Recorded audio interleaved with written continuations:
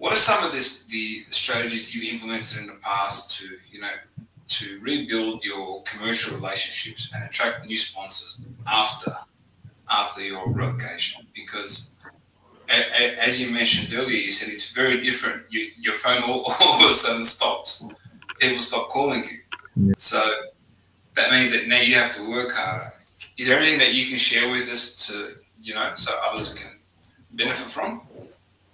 Yeah, well, I'll tell you, hopefully this will never happen again because it was unique for all of us.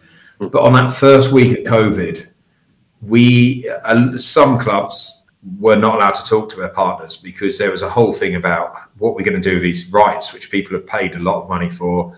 The season looked like it was going to get curtailed, so was, the season was going to finish, which as much as we were against it as a club, actually it would have kept us up because um, we ended up getting relegated. But we as a club and me personally believed in um, the, the, the sport which needs to go on and, and the fairness of the sport, and the spirit of competition needs to go on.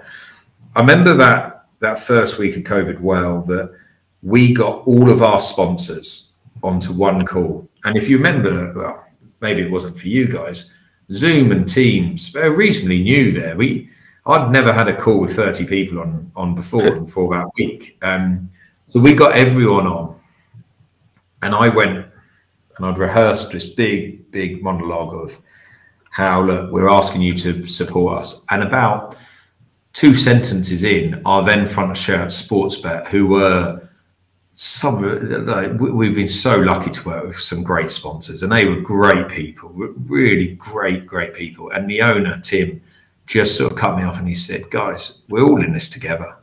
We're all in this situation. You don't need to stand there. We're not going to make things hard for you. Um, we're in this together, and I don't believe that one person on the call will make it hard for you.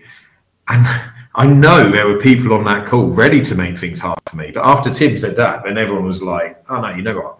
No, actually, yeah, you're right. We are all in this together." So I think the open and tra- the open attitude and being transparent with people, I think I, I do think absolute plays dividends when when you're backed up against a wall. Um, and it's the same with relegation. We've we've been relegated twice, um, and some of our partners of American Airlines, Football Manager, Kelme, they've been up with us, they've been down with us twice, and that relationship's really strong. And just one of our partners in the last month, uh, it's not fair to name name who, have come to us with a problem and a lot of clubs would have tried to kick him out because of it. But we've worked with them, we've worked on a solution, and um, only about half an hour before his call, I was able to email them to say, "Look, this is how we're going to support you." So it's it's a two way thing, and that's why we call it partnership rather than sponsorship. Because sponsorship sounds a bit crass. It sounds like you sell your rights and